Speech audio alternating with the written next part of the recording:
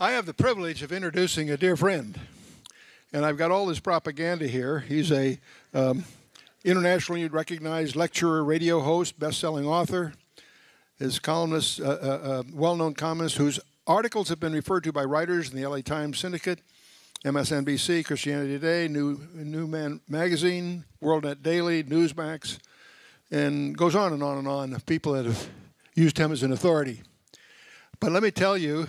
Um, he and Chris Putnam undertook a book called uh, that dealt with the prophecy of the popes, and they published it that in uh, I believe it was March or April of 2012, and they, among other things, predicted that the sitting pope at the time would abdicate, and a year later, in uh, February of 2013, the pope, for the first time in 600 years, abdicated which of course put Tom Horn and Chris Putnam on the headlines. Okay, and so that do you think that was that'd be pretty good?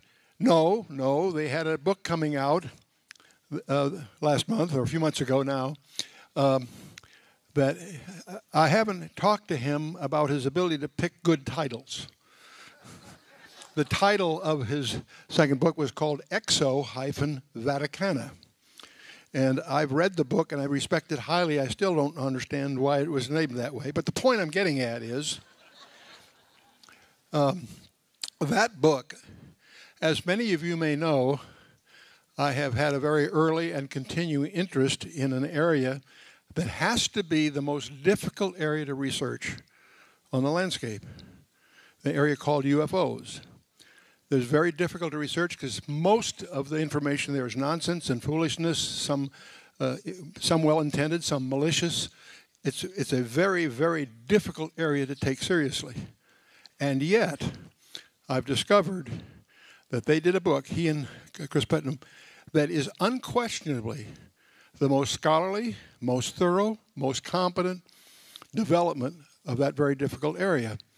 And uh, among, and, and among other things, it uh, predicts the, the, the it reveals that of all things, the Vatican is openly, openly preparing to receive an alien visitor.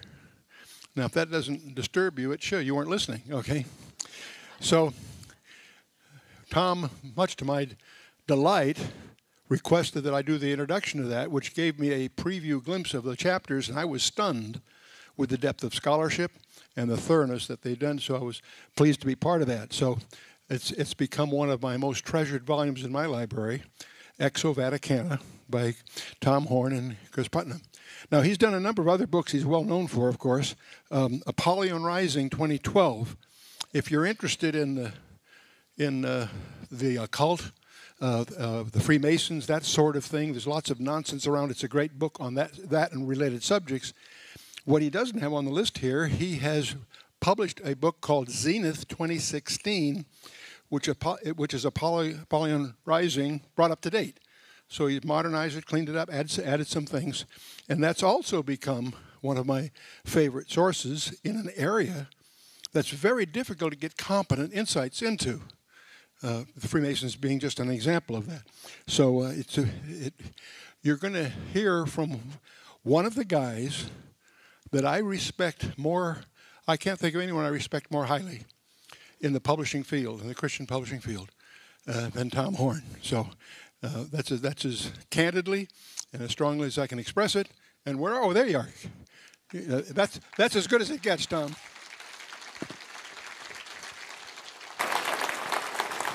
It's a privilege having you with us, my friend. God bless you. God bless you, God bless you, my friend. Well, I was hiding back there hoping that he would keep on going on about all that stuff. I was really enjoying that. I, I, can I get a copy of those notes? I might. Uh... I could probably never do it again. uh, well, greetings, everybody. Uh, are you enjoying the Strategic Perspectives 2013? I almost said 2012. I'm still hung up in the past, ain't I?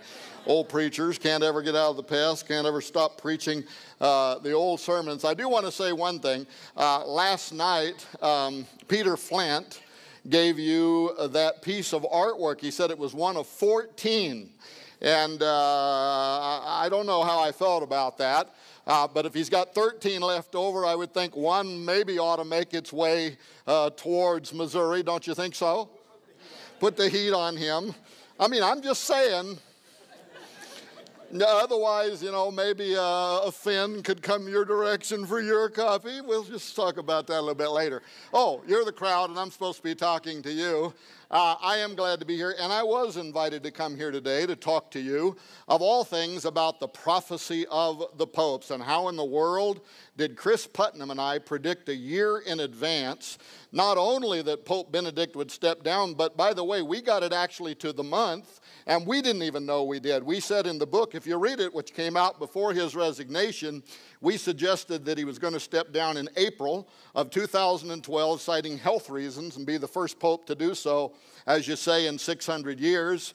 When uh, April came and went, we thought, well, we missed the date, but the book's still important. But then when he did resign this year in February, the L'Osservatore Romano, which is the official mouthpiece for the Vatican, gave an interview to the New York Times in which they said, well, really, he, reti- he retired when he returned at the end of March 2012. He did it internally, made it official in April to the Curia, and we had actually got the month right. But there's another story if you read the book, because 61 years ago, a Catholic mystic prophesied exactly when Gloria Olivae, Pope Benedict, number 111 on the prophecy of the popes, would step down. 61 years in advance, he said it'll happen in April of 2012.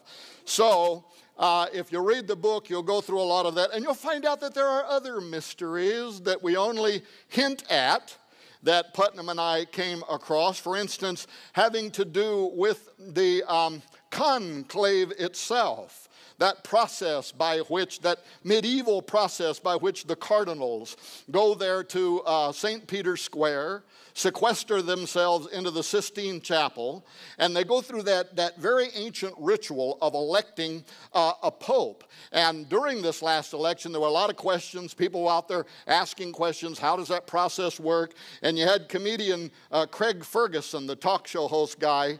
He was on TV and he was saying, Now, how does this process work? He says, I know they have these little papers, right? And they roll them up and then they vote and they tear them up and then they throw them in that uh, thing that they've temporarily hooked up, that stove with the temporary stovepipe that's going up out of the top of the Sistine Chapel, and they mix chemicals with it. And he said, now if the smoke comes up and it's black, they haven't yet elected a pope. If the smoke comes out and it's white, they have elected a pope. But Ferguson said, What would we make of it if all of a sudden green smoke started coming up out of the Sistine Chapel? And Putnam and I put our heads together on that, rolled up little pieces of paper, green smoke. We determined that if that happened, that Willie Nelson had snuck into the Sistine Chapel and they need to get him out of there, right?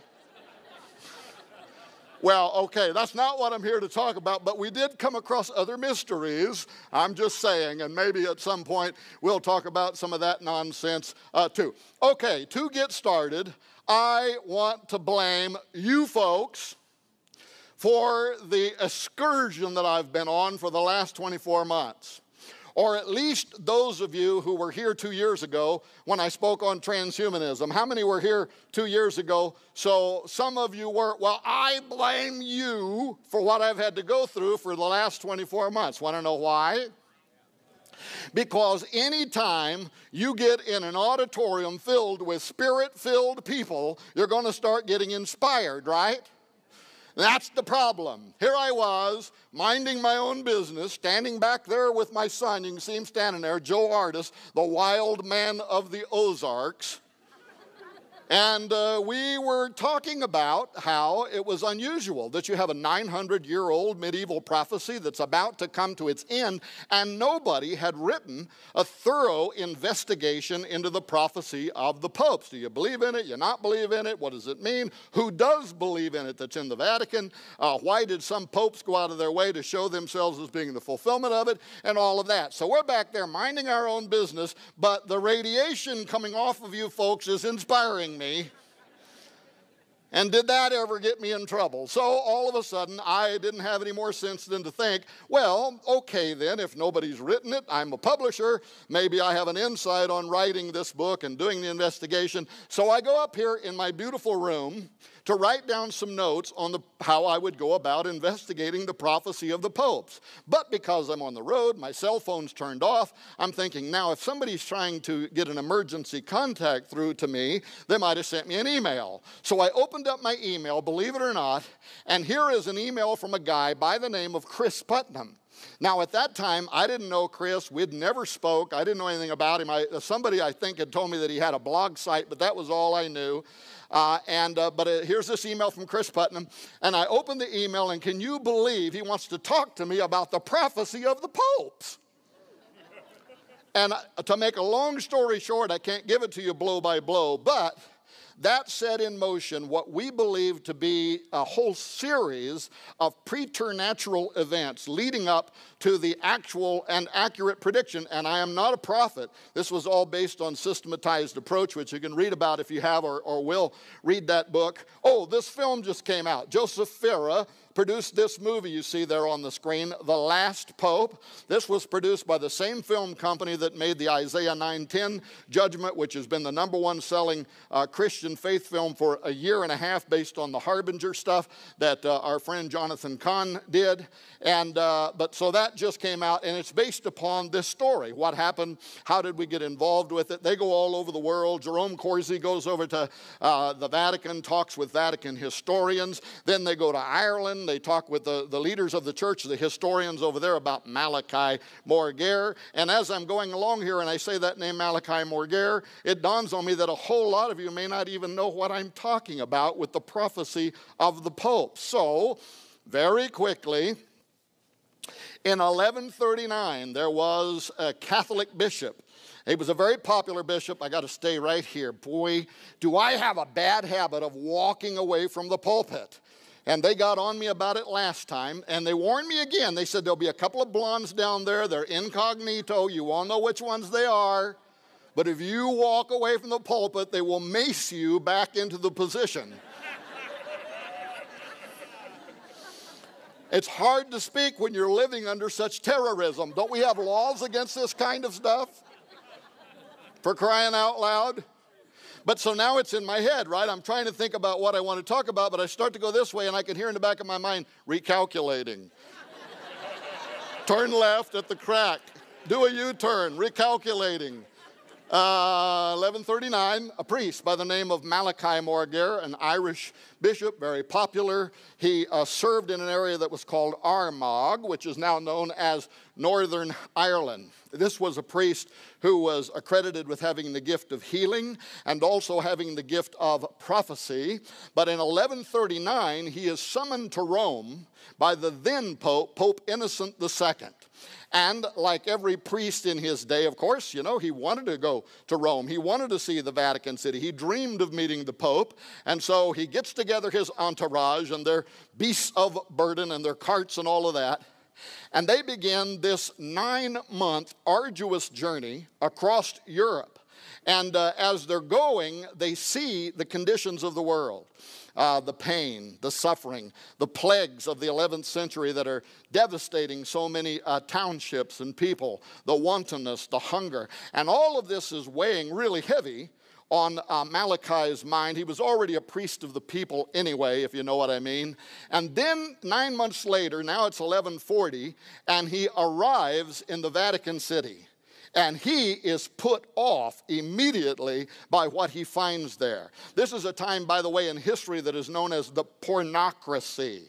It was a time where the Pope and those around him and the Vatican, they embellished all of this privilege and finery and wine and pomp and circumstance and food and all of the splendor. And Malachi comes riding in with his donkey pulling some cart, and he has just seen what's going on across the then known world, and he is really offset by what he finds there. So he conducts his business with Benedict II, or with uh, Pope Benedict, uh, time traveling here again, sorry He conducts his business with Innocent II and uh, gives an update on his diocese, and then he can't wait to get out of the city. And this is where things get interesting.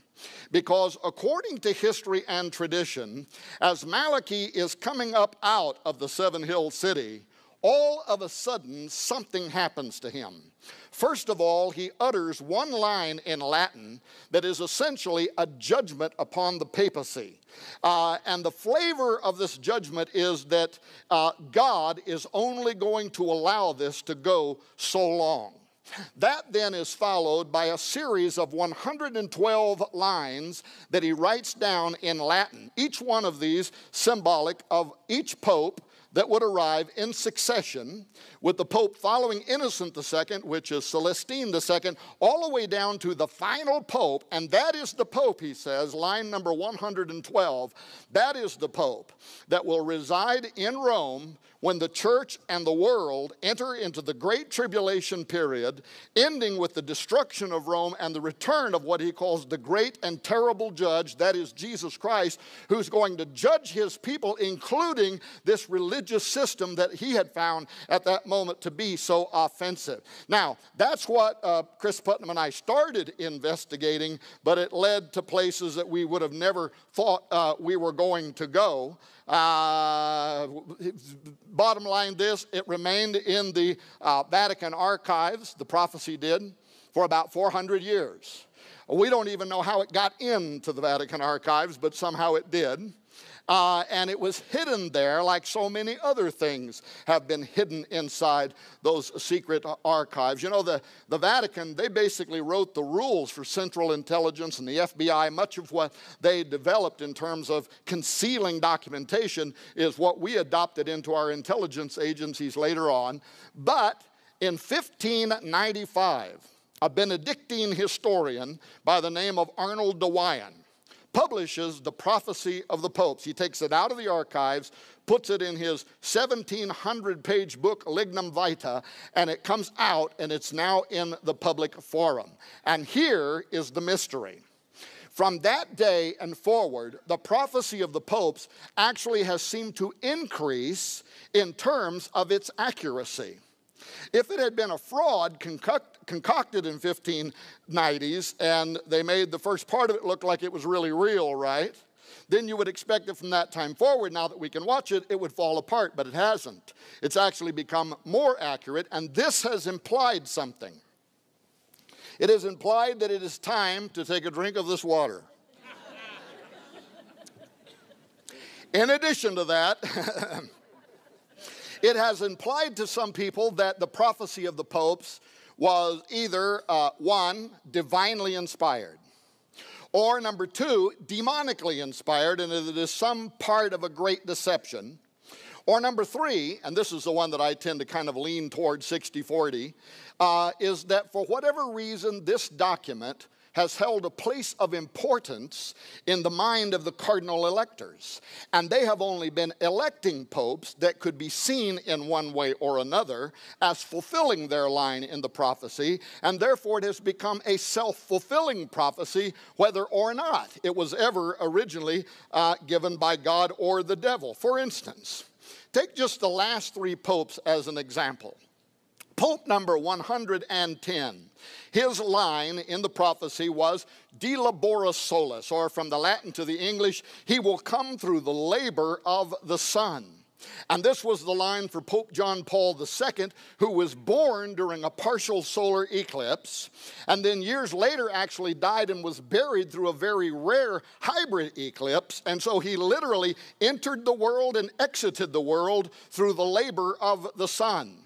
Then came line number 111, Gloria Olivae. This was the line for Benedict, and this was the one that says, He will be the glory of the olives. And this was interesting because in the lead up to the election of Benedict, there were a lot of the watchers of the prophecy, right? They were saying this guy is going to be a Benedictine priest because their symbol is the olive branch and their priests are known as the Olivetans. Therefore, the glory of the olives, he's going to be a Benedictine priest. Well, then the conclave came and they elected a German uh, uh, cardinal by the name of Ratzinger, who was not a Benedictine, and everybody was thinking, uh oh, something just suddenly really fell apart in the prophecy of the popes.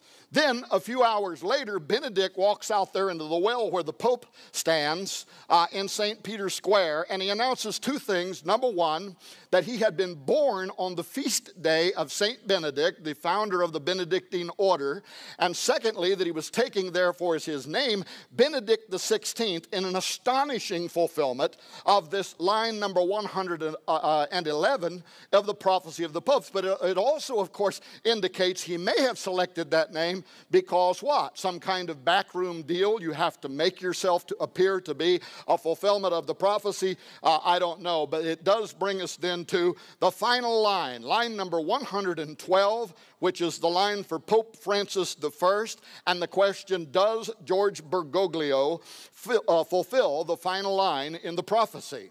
And here is what the prophecy says. This is the most expressive line in the prophecy of the popes, and it says this in the extreme persecution of the Holy Roman Church, there will sit Peter the Roman, who will pasture his sheep in many tribulations. And when those things are finished, the city of seven hills will be destroyed, and the dreadful judge will judge his people. The end. That is the final line in the prophecy, a 900 year old prophecy, and it is the line for Pope Francis. Now, the question then is Does Bergoglio fulfill this line? First of all, part of it we're going to have to wait and see. Because if he is the Pope residing at the Vatican as the Great Tribulation unfolds around us, we're all going to know that in a very short period of time, I suspect. But the second thing was this line Peter the Roman. Because of that line, some of the people who were watching the prophecy, not the scholars who always had a different view on this, but many of the people in the public, they thought, okay, it's got to be a guy, right, who's going to have some part of his name is Peter. And if he's an Italian or in the old language, a Roman, we're going to literally have a guy named Peter the Roman who becomes uh, the next pope. And so people were watching that. They thought the current Secretary of State uh, Tarcisio Pietro Peter uh, Bertone, who was an Italian. They thought, wow, if he becomes the Pope, I mean, run for the hills, right? Start crying for the rocks to fall on us because the man is here. And uh, people were excited about it. Now, Chris Putnam and I are on TV shows a year in advance that you can watch on YouTube in which we said it would be a mistake to lock yourself into that opinion for a couple of reasons. Number one, let me go back to this previous slide. It comes from understanding how the prophecy of the popes work, in that the prophecy never did pick a person's Christian name or a name that they were born with. In other words, John Paul II was not born De Labore Solis. Uh, Benedict was not born Gloria Olivae. The lines in the prophecy always tell us something about the character of the Pope, how he wants to model uh, his pastorship or his papacy in Rome. And for that reason, many uh, Catholic scholars, especially, had always said the final Pope will not have the name Peter. The title Peter the Roman is symbolic. And in fact, what several of them believed was he's called Peter because he is the consummation of the Petrine office, the office of Peter as it is known in Rome. See, if you understand Catholic belief, they, and some of you I'm sure are Catholic or were raised Catholic, but they believe that their very first pope was uh, the Apostle Peter from the New Testament, and it is upon his throne that every pope in succession uh, provides an unbroken line of leadership for Roman Catholicism, and therefore every pope is known. In fact, George Bergoglio is a Jesuit, and the Jesuits always refer to every pope as the latest Peter in the line. So many Catholic scholars believe that this is simply talking about the consummation of the office, the final line, the final Peter, if you will. But then the term the Roman becomes really interested. Is uh, interesting. Is it because he is of Italian descent? Both his mother and father are full-blooded Italians, so in that sense you could refer to them as Roman. But Catholic scholars wrote as many as decades ago that what it actually implies is that this will be a guy who will refascinate the world with the office of the papacy, who will refascinate the world with Roman Catholicism. And folks, if this guy has done anything, it has fascinated the world with the office of the Pope. Have, however, Having said that, it's spooky how Bergoglio has gone out of his way to attach himself to the literal title, Peter the Roman, and to wrap himself in the final line of that language. First of all, because he took as his namesake Francesco, or Francis as he's more commonly called today, of Assisi. That is his namesake. But Francis was born Giovanni and later changed his name to Francesco di Pietro, Peter de Bernardone, and as an Italian, his name literally translates Peter the Roman. When he chose him as his namesake, you could have knocked me and Chris Putnam over with a feather that he went out of his way to do that, but it gets even more intriguing. Know this Pope Francis is selling himself as a humble man, and he may be a humble man, but that does not mean he is an ignorant man. He is a Jesuit. He has advanced degrees in science, in history. He is very familiar that he is the final line in the prophecy of the popes. He knows that. He also knows, however, that Francis of Assisi was a mystic like Malachi Morgair. In fact, Francis of Assisi only lived 50 years after the prophecy of the popes was given given. There's some evidence he was familiar with it, but even if he wasn't, Francis of Assisi prophesied too about the final pope. And do you want to know what he said about the final pope? Here's an excerpt from his prophecy. He says, He will be raised to the pontificate, who by his cunning will endeavor to draw many into error and death for in those days, Jesus Christ will send them not a true pastor, but a destroyer. Why in the world would Bergoglio name himself after a guy whose name means Peter the Roman and whose prophecy implies the very last line, 112, that this guy will be a deceiver who is going to lead the world into destruction, but it keeps getting even better. Three weeks ago, Bergoglio wrapped himself in it again. He names a guy that we actually thought might be the final pope, a cardinal who is an Italian, a Roman, by the name of Pietro Parolin, a guy whose name means Peter the Roman, was just named as the new Secretary of State for the Vatican. And this is interesting because uh, for those of you who might be watching this via live stream who are Catholics, those who are here who are Catholics and know uh, history, and I know there are some here that know it a lot better than I do. John Loeffler is in the building, right? Um, and, uh, and also, um, those who have paid attention to this history, you are familiar that in the background of Catholicism, some of the ancient prophecies, more than one, foresaw the end times. And what did they see? They saw that something is going to happen to the rightful pope that he is what? One says maybe he's going to die or be killed. Another says maybe he's going to be arrested. Uh, but something happens that moves the Pope out of office, and then an anti Pope rises up under him, and that guy is the one that's really the bad one. Well, by doing what he just did with Pietro Parolin, George Bergoglio just put into place something that if something should happen to him and his Camerlengo, the Secretary of State would step up into the office of the Pope, a man whose name literally means Peter the Roman. Now, I can't tell you that that's going to happen. I don't hope something happens to uh, uh, Pope Francis other than maybe getting saved.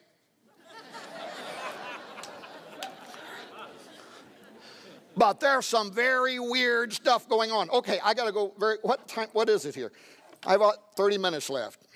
As a Jesuit, Francis may be linked to something even more intriguing and that could connect him to end times prophecy as depicted in Chuck Missler's masterpiece, Alien Encounters, and the far humbler and recent Exo Vaticana, which basically stole Chuck's ideas and reframed them in our own language but that is the subject, astrobiology. I say this because since publishing Petrus Romanus and Exo Vaticana, we learned that the new pope has a relationship with the members of the VORG, the Vatican Observatory Research Group. First of all, as a young adult, he earned a master's degree in chemistry from the University of Buenos Aires and had scientific ambitions prior to entering the Jesuit order, including studies in astrobiology, life on other planets. Secondly, when the current leader of the VORG, Jose Gabriel Funes, also from Argentina, entered the Jesuit order. One of his three examiners was Bergoglio.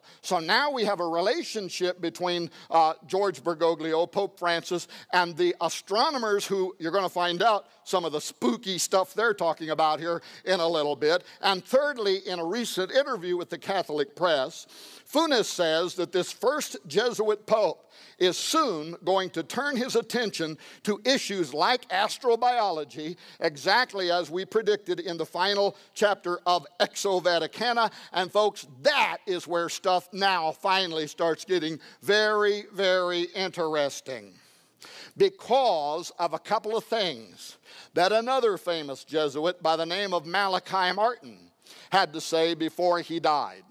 How many of you are familiar with Malachi Martin?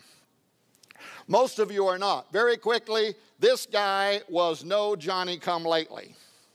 Uh, he was an insider of insiders at the Vatican. He was a Jesuit. He worked for three popes. He was a formidable polyglot. He could speak 17 languages, translated numerous ancient and extinct languages. In fact, he worked for the Vatican in the Holy See, uh, uh, uh, transcribing the Dead Sea Scrolls, part of which was being talked about last night. Uh, his work on those documents for the Vatican. Uh, he was a personal friend of Augustine Bea., who is one of the most famous Jesuits in history. He had access to the deepest secrets, including the uh, final mysteries of Fatima, which he certainly implied were not released in 2000 when the Vatican said that they were. But in any case, he was a personal friend of the Pope's. At one point, he asked the Pope if he could have leave of his priestly duties. He moved to New York City where he became a multi time, best selling New York Times writer of fiction and nonfiction, or his fiction he called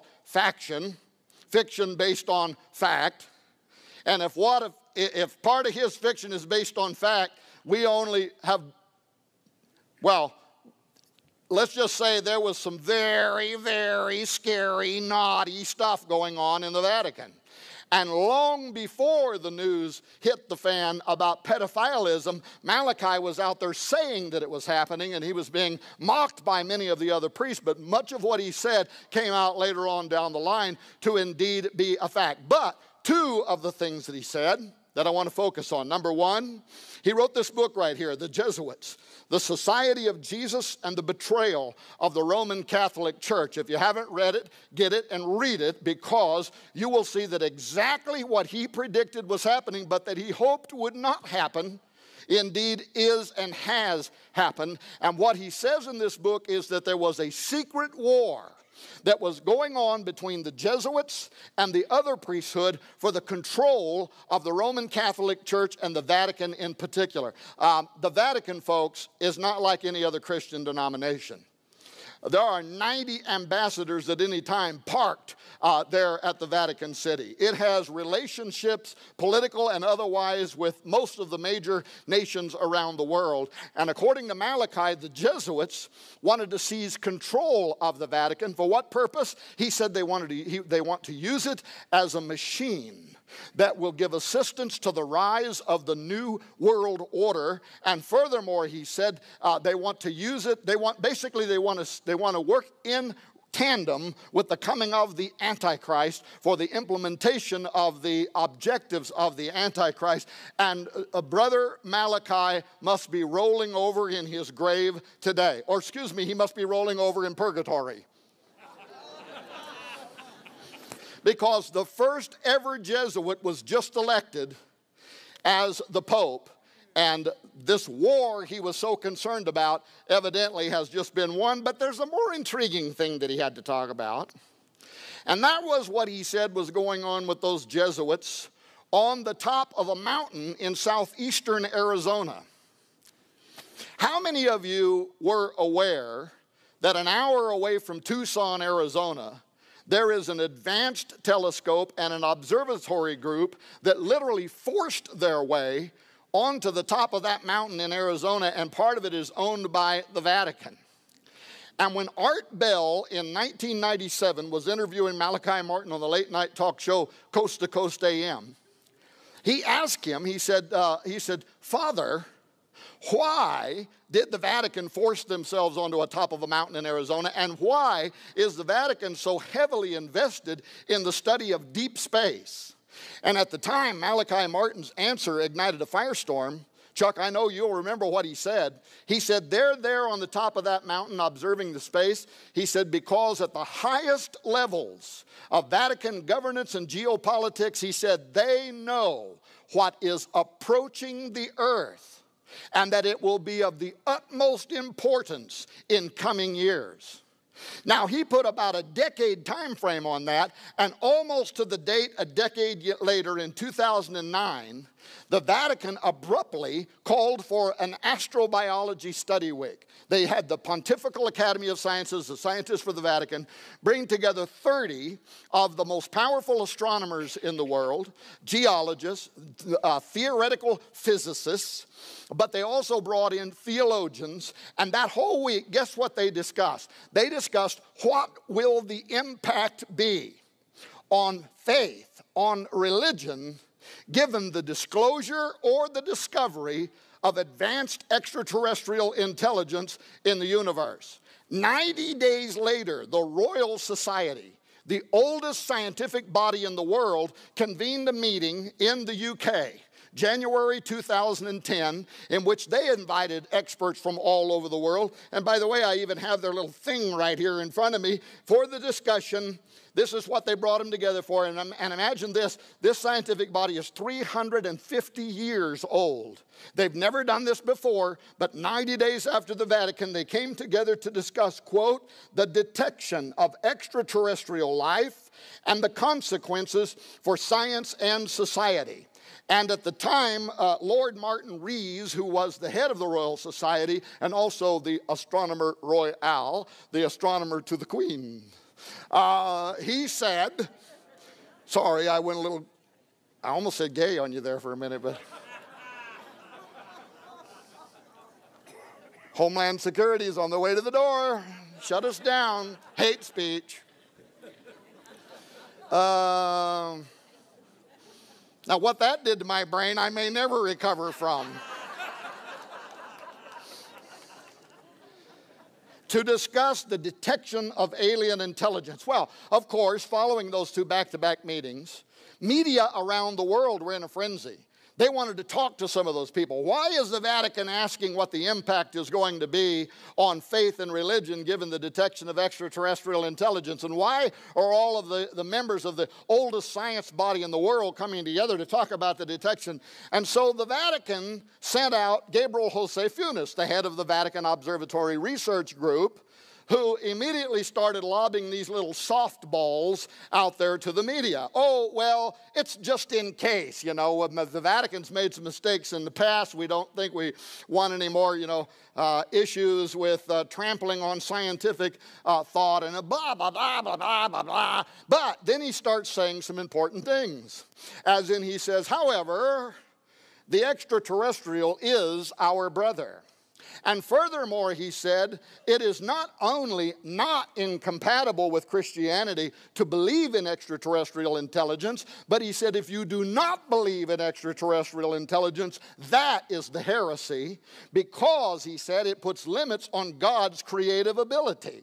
And that began what has been a slow process over the last three years of what is kind of a, a developing scheme, if you will, and theological uh, arguments at the Vatican. But keep this in mind some of these are Opus Dei level theologians who write theology for the Pope's University in Rome. And when you see some of the stuff they're writing right now, it'll put cold chills down your spine. But then he said something I had to just take, I thought, how could he possibly know this, Chuck?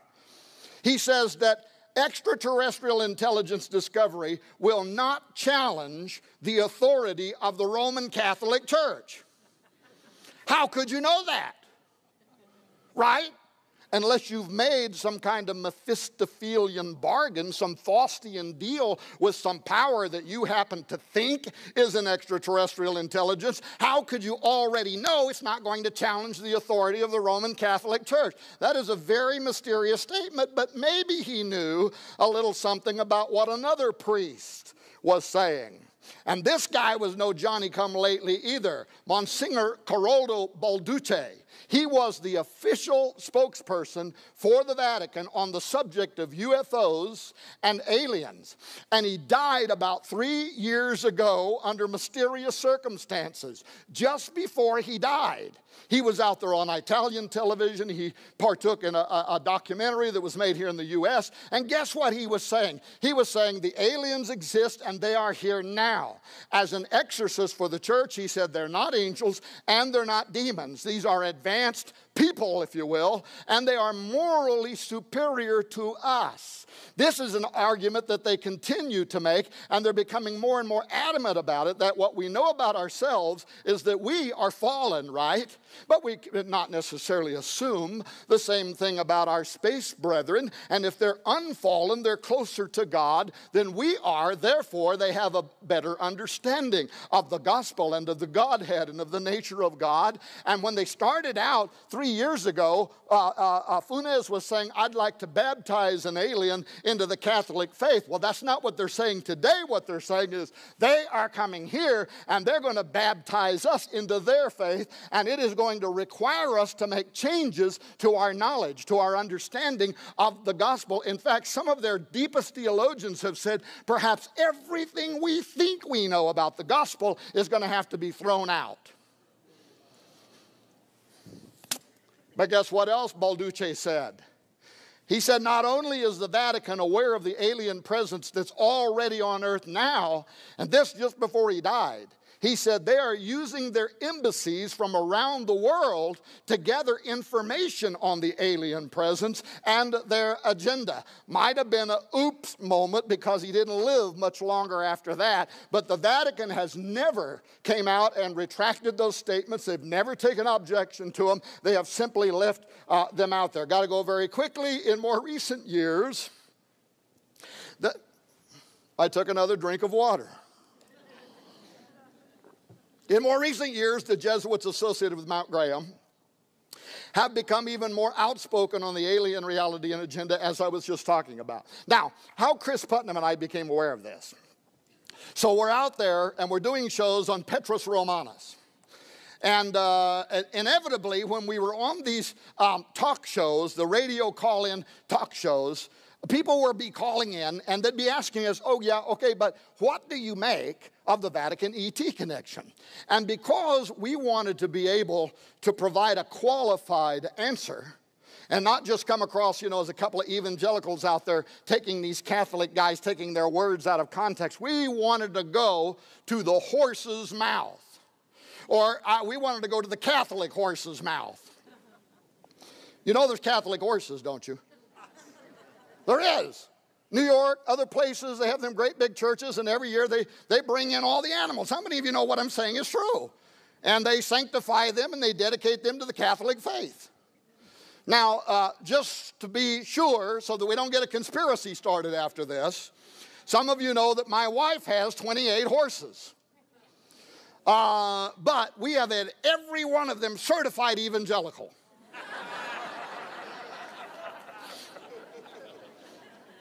Not caught one of them praying with a rosary. Yeah, I'm sorry. We wanted to go to the horse's mouth, and we knew, brother, that the, I mean, this was like a dream, right? The best way to do this would be if somehow, some way, we could get up to the top of Mount Graham in Arizona and talk to the astronomers there. Now, that was a big maybe, right? Uh, you can't just, you don't just drive up to the top of Mount Graham and jump out and say, I'm here to see the aliens. It's fenced off way down off the mountain, uh, uh, signs in all kinds of languages talking about the horrific things that will happen to you if you climb over the fence and try to go up there. So uh, I found out that if I was going to have any chance, I had to negotiate this through the Arizona State University. That's a story all by itself, but I was successful in doing that. Uh, and if you read the book Exo Vaticana, young people have told me, man, they just love that first chapter. They say it's like an Indiana Jones scene, right? How we went up that mountain. But I don't have time to tell you that story. Just in the back of your mind as I'm talking, just be humming, dun dun dun dun dun. But that's where we went, to the top of the mountain. And uh, when we got up there, now I have to say, I was very impressed with the Jesuit who was on duty that day. He's not the one we had been hoping to talk to, but he was a Jesuit astronomer. We later did talk to the one we wanted to talk to, but he was an astronomer and uh, very cordial. I mean, this guy could give evangelicals lessons on how to behave in a Christ like manner very warm, very cordial, answered all of our questions, took us and showed us the very humble areas where the uh, astronomers sleep when they're there and the places where they eat. But then finally, of course, we went up the ladder, I mean, we went up the stairway and we wind up there with the Vatican's astronomical or advanced technology telescope. And they allowed us to do all kinds of crazy stuff. We clumb all over the telescope, went up above it, went down below it. Down below, there's an area chained off uh, they unchained it so we could stand on that platform. And then once I got up there, I saw all these electrical warnings around me with crossbones, and I thought, I now I know why you let us stand on the platform. We're not falling for it. So we got off the platform.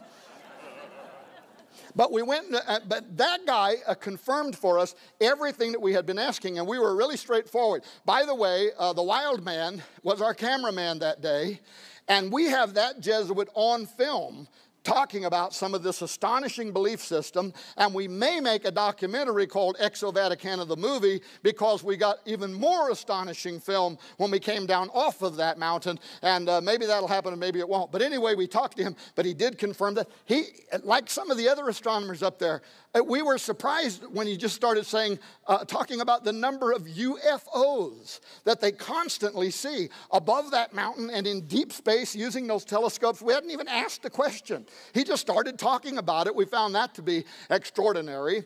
Uh, but he also said this, which was key to us. He said, These days the Vatican only uses their advanced telescope for one reason, and that is to monitor exo worlds where they believe that there may be uh, the conditions for life, including the possibility of advanced intelligence. So we found that to be very confirming. Anyway, let me make the story, the story. I'm going to make the story faster. Uh, we left there we walked up the hill about a city block to the radio telescope. There's three telescopes on the top of Mount Graham. So we went to the radio telescope. Nobody was on duty that day, but uh, our guide had keys, took us in, uh, opened all the doors, turned on all the lights. We got to see that gigantic telescope. We went into the control room. We saw the screens were sitting there lit up with images of deep space. But because we couldn't talk to any technicians or astronomers, we left there. We went out. We walked two more city blocks up to the top of the mountain, and that's where sits the large binocular telescope. It is the largest telescope in the world.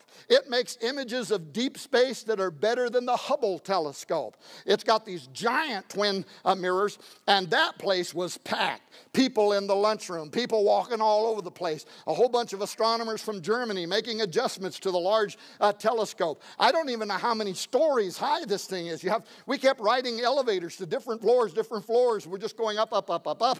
And each stage of the way, the systems engineer who they gave us, and by the way, he spent the entire day with us. We were his only mission the whole day. We were just surprised by that. Uh, and uh, very educated guy, lead uh, engineer for the Large Binocular Telescope. But if you watch the, the, the book trailer for Exo Vaticana, You'll see a scene in there where we are way up on this platform, way up over the top of the large binocular telescope looking down. And you'll see the systems engineer take uh, a laser pointer and he points down between the two twin mirrors. He points down to this red device, this big red device in the middle, and he says, This is the Lucifer device. And yes, that is exactly what it really is called. It's an acronym, L U C I F E R. It is a piece of infrared technology that they, the Catholics, whoever else want to be able to use that device, that they use that infrared, can see deeper into space, it can see fainter objects, it can see into areas of the light spectrum that other telescopes and your natural eyesight cannot see into.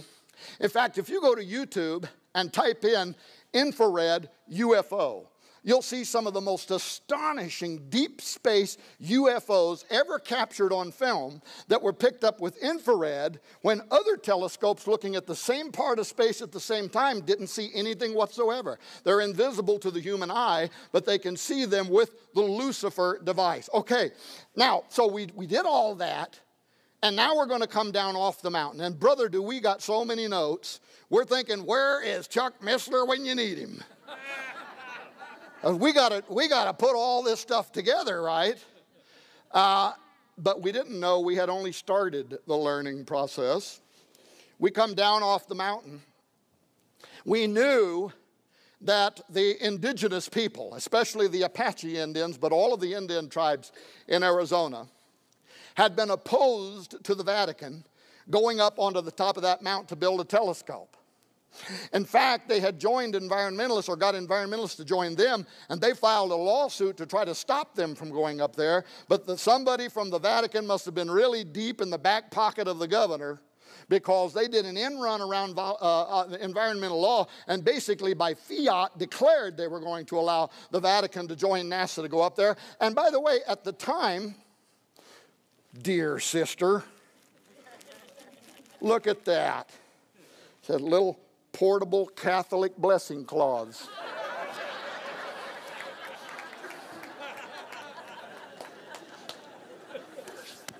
yeah, oh yeah, I guess you're probably getting tired of that, huh? Look at this guy with the face thing, man. Really? Yeah, but you're not standing up here under all these hot lights. Don't give me some kind of problem about the way I look. Now, see, I won't be able to say anything bad about the Catholics because I just got the Catholic cloth. Put it on, just put it up there and leave it up there. I can play dominoes better than you. Um, well, hey, what we found out was astonishing. And Chuck, I don't know if you even knew this, but uh, we found, because what we thought was okay, the Indians are fighting the cowboys there, the Catholic cowboys. They don't want them to go up onto the top of that mountain, probably because it's sacred ground, right?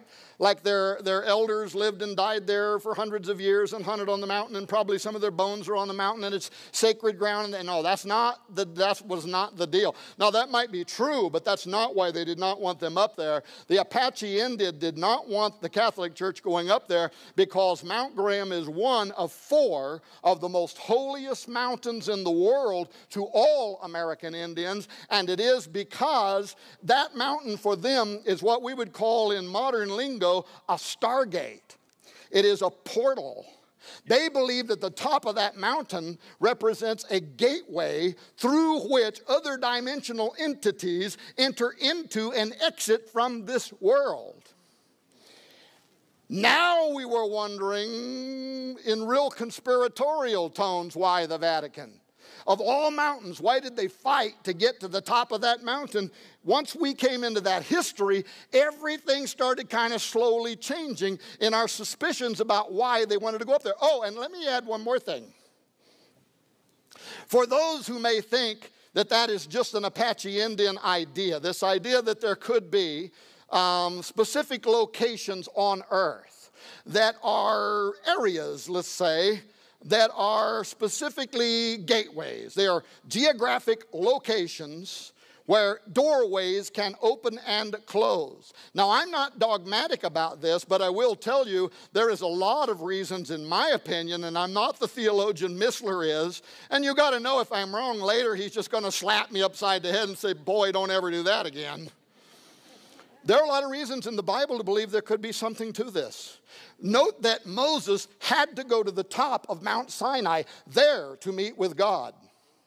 Note that when Jesus returns, his feet touches the top of the Mount of Olives and he descends down uh, from that point. Note in the apocryphal book of Enoch, which is still in some versions of the Bible, that in the days of Jared, Noah's great grandfather, 200 powerful angels known as the Watchers came down onto Mount Hermon, and from the top of Hermon walked down into the valley of the plain. And that la- the language around that mountain means the forbidden place. And years later, Jesus is talking to his disciples and uh, in, in Caesarea Philippi, and I think he turns and he looks towards Mount Hermon because he's right in that area, and that is where the Greeks at that time had, had built this dedicatory, if you will, to the horned demon Pan. And Jesus, that's right where he says, The gates of hell shall not prevail against my church.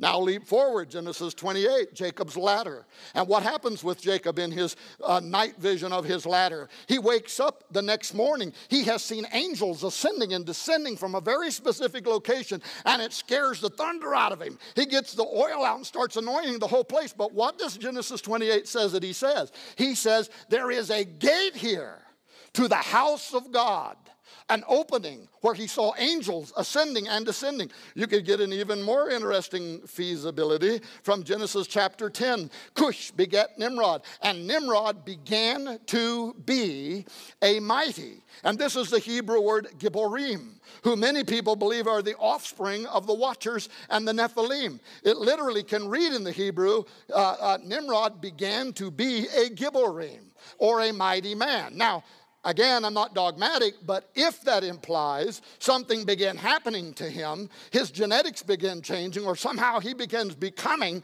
an offspring of the watchers and angels, well, then maybe his eyes were open because in the very next chapter, what does he do? It says that he goes to build a tower whose top will reach into Shemayim, the dwelling place of God. And many ancient uh, uh, Jewish writers of that uh, legend say that he literally could see into the throne room of God and went there to build a tower to lead the armies of the earth up to challenge God. And God came down and saw what they were going to do and said, It will not be restrained from them what they have imagined to do. And what did they imagine to do? To build a tower whose top would reach into Shemayim. Okay, now I might be making a lot out of nothing, and it could be that none of that implies that there are specific locations on the earth that are entry and exit ways, but that is definitely what the Apache Indian believe about Mount Graham. And furthermore, when you look into their creation mythos, you know what they saw?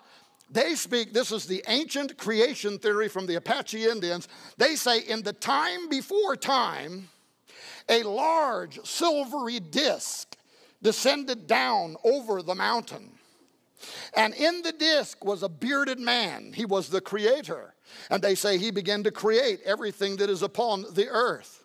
Soon after, they say, another man came through the portal, but they say he wasn't really a man. They say he was a dragon, and he began to deceive the populations of the world. Then they say other weird uh, owl like men started coming through the portal. And when you look at their drawing, drawings, it looks like the alien grays are coming through something. Then they say giants, Nephilim, start coming through the portal. And they start spreading out across the ancient Arizona Badlands. And they're killing the Indians and they're raping and pillaging. And the Indians run into the tunnel, or uh, the caves, and they start crying to God, whoever God is, save us. And uh, in their legend, it says that the sun god destroyed uh, the giants and saved them. And that's why down there around Phoenix, it's called the Valley of the Sun. Now, of course, the sun also shines there because I grew up there and it'll cook your kitten in a little while, right? But it really goes back to that Indian folklore. So do the superstitious mountains. Superstitious mountains are named the way they are because of what they saw what am I doing? The microphone. It always does. I have the strangest ears. They probably were wonderful when I was born. There we go. And then I got ran over by a car. I did. And it tore them off. And they sewed them back on. Stupid sewers. And ever since then, nobody can keep a headset on me. Really. And pretty soon I'm usually just pulling off and I'm holding it like this as I'm walking around talking. Uh, Spock, I'm not. I don't have the right ears for doing this kind of business. Well, in any case, that is what they uh, believe about Mount Graham, and that's why they didn't want them going up there. Uh, I'm almost out of time, so let me do this real quickly. After our visit to Vat, another thing that was really important was I got a hold of Brother Guy Consolmagno. Now, Consolmagno is a very important astronomer for the church, one of their leading astronomers. Um, he splits his time between Mount Graham in Arizona and uh, the Pope's summer residence in Gandolfo, Italy, where they also have a telescope there that the Pope can use. Uh, he's the keeper of the Vatican's collection of meteorites and other things that have fallen down from the earth. You always, often see pictures of Brother Guy Consmonalgo uh, with the Pope. But I wanted to talk to him because of this book right here, Intelligent Life in the Universe.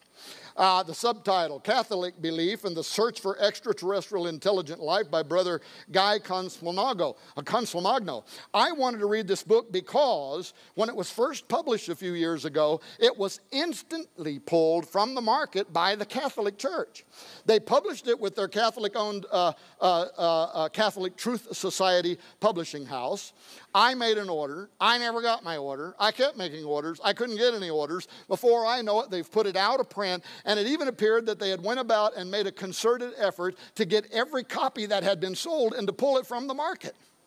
I wanted to know why that was the case. So when I came down off the mountain, I contacted Brother Guy Consolmagno through the observatory website, told him that we had just been to Mount Graham, we had missed him there and had hoped to talk to him there. Wanted to know if he'd be willing to allow us to interview him, which he did four times from Rome via the internet. But in that very first email, and it was a good thing, time for the Catholic cloth, it was a good thing that I asked him in the first interchange, because I don't think I'd have got it later on. I asked him, Is there any way I can get a copy of Intelligent Life in the Universe, which you wrote, either just a used copy or the PDF? And he sent me the PDF. And guess what? We make the PDF of the book available free on that DVD they got back there uh, on that table. And if you get that DVD, by the way, it's got tens of thousands of pages of information. It's got 20 some hours of interviews. When the Royal Society was meeting over there, I decided that our Royal Society would meet over here. And we did 20 hours of interviews. We interviewed Chuck Missler. We interviewed uh, the former leader of the military of defense for the government of Britain, uh, Nick Pope. Uh, we got one of the last interviews with Jesse Marcel Jr. before he died a few weeks ago about what actually happened there in Roswell. 20 hours. It's all on their free MP3 format. You can put it in your little device, listen to it as you drive. But this book is in there. And what does this book say? Well, when I asked Brother Consolmagno about what these churchmen were saying, that the aliens are coming, and it's going to require us to have to change our understanding of the gospel he quoted from his own book. These are in this book. He quoted from his own book. Oh, I asked him, I said, where would I find an example that advanced extraterrestrials might come to the earth sharing the secrets of heaven? And he said, Well, Tom, it's happened once before. And I said, Where? He said, Haven't you read Genesis 6? Now think about that. He's using a story to imply our space brothers were once here, they're coming back, they're going to correct our version of the gospel, and he is using as a sample of that who we would call fallen angels. And in fact, they did come to the earth once before, and they did share the secrets of heaven. They shared the secrets of genetic manipulation. And the Bible tells us in Genesis that eventually all flesh, both man and beast, had been corrupted, and it led to the fiat of the flood and God having to purify the world. They shared the secrets of metallurgy. They taught men how to make superior weapons so they could more efficiently kill one another. They taught the secrets, it says, of potions and allures. And some of the ancient texts say they taught women how to make lures so that they could lure both men and angels into their bedrooms. So, yeah, they came down, but these are the last guys on earth, right? that I would get all choked up about. that I would consider to be my space brothers, and they're coming back again. So when I question him about that, he quotes John 10 16. He makes the same point in the book. And he says, Tom, have you not read, and other sheep I have, which are not of this fold? Them also I must bring, and they shall hear my voice. See? They listen to God better than we do. And there shall be one fold. They're coming with me. And when we come, there will be one shepherd, and we're all going to become one fold. But the, he then uses this to again quote from his own book, in that he says, Perhaps it is not so far fetched to see the second person of the Trinity, the Word, talking about Jesus who was present in the beginning, John 1 1, coming to lay down his life and to take it up again, John 10 18. Look at this. Not only as the Son of Man. Now he's talking about aliens here. That's all we're talking about as the Son of Man, but also as a child of these other races. And here's the email I sent back to him. I said, Brother Consolmagno, really? Do Vatican scholars actually believe that Jesus might have been the star child of an alien race? Do you and other Jesuits secretly hold that the virgin birth was in reality an abduction scenario in which Mary was impregnated by E.T., giving birth to the hybrid Jesus? And he would not answer that question, but in fact, that is exactly what he says. Well, bottom line, during our investigation, we compiled. What? Oh, it might have been painted by a famous Franciscan, but probably not. We compiled it. If you read the book, you'll see an, an extraordinary number of additional documents written by Jesuits and Opus Dei level church theologians that are now arguing in favor of number one, advanced ETIs exist and are more likely superior than men. Number two, therefore, they will be evangelizing us. Number three, we are going to need to change our theology. Here's a quick example. Can I have five extra minutes? Uh, a quick example Father Giuseppe Tanzella-Nitti, an Opus Dei theologian of the Pontifical University of the Holy Cross in Rome, in other words, the Pope's uh, university, argues how such. Oh, and this entire paper, which is a very large theological dissertation by him, is also on the free DVD. But he makes this argument uh, how a contact with spiritual ETs is not going to immediately oblige the Christians to renounce their faith in God simply on the basis of the reception of new, unexpected information of a religious character from extraterrestrial civilizations, but that such a renunciation could come soon after as the new religious content originating from outside the earth is confirmed as reasonable and credible. How in the world would you confirm alien information? Information as reasonable and credible. Again, it goes back to I think they think they have a deal with somebody uh, but in any case, once the trustworthiness of the information has been verified, the believer would have to reconcile such new information with the truth that he or she already knows and believes on the basis of the revelation of the one and triune God, conducting a rereading of the gospel inclusive of the new data. Well, I think the Bible has some intriguing things to say about all this too. Very quickly, the Antichrist will appear with all lying signs and wonders, 2 Thessalonians 2 9. Secondly, his, company, his, com- his coming will be marked by fearful sights and great signs from heaven, Luke 21 11. Also, don't forget the Bible tells us that men's heart will fail them for fear for seeing those things that are coming upon the earth.